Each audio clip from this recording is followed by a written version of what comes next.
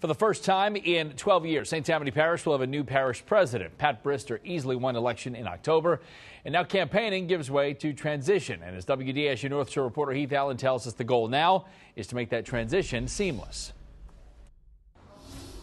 With so much going on in St. Tammany Parish, the transition between the outgoing parish president and the incoming parish president is a lot more difficult than it sounds. It's daunting, but I, I, I feel like I, I have a leg up on it. Parish President elect Pat Brister has hit the ground running. Transition offices already set up, and a transition team recently unveiled, helping the former two term member of the parish council prepare to take office. We're going to work hard, but I will be right there with you working uh, as hard as I can, and we're going to get just a sterling result.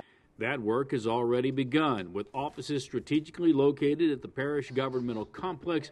Brister has become immersed in daily operations. Bottom line, there's a lot to absorb. A lot of projects. We have about uh, 200 to 300 different capital projects that are in the system. Um, some of them have started, some of them have, we haven't gotten funding for yet. Projects like the fishing pier in Slidell and the extensive levee protection projects in eastern St. Tammany. 12 year parish president Kevin Davis has pretty much opened everything up to Brister and her transition team. For those projects and so many others like them to come to fruition, Brister must be up to speed.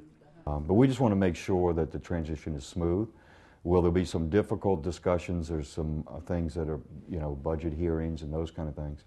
Um, but we're working through all that. Brister's effort now twofold learn what's already in progress while gearing up for those things she wants to get done. A key focus economic development. We have a fantastic story to tell mm-hmm. in St. Tammany. It's just a wonderful story, and we just need someone out there telling it all the time. Term limited out, Kevin Davis wants to make sure nothing derails a train he feels is going in the right direction. And uh, I think Pat will be the same way, so uh, I think we'll be, we'll be in good hands. I feel great about the transition. It has gone so much smoother than I would have dreamed. On your side in St. Tammany, Heath Allen, WDSU News.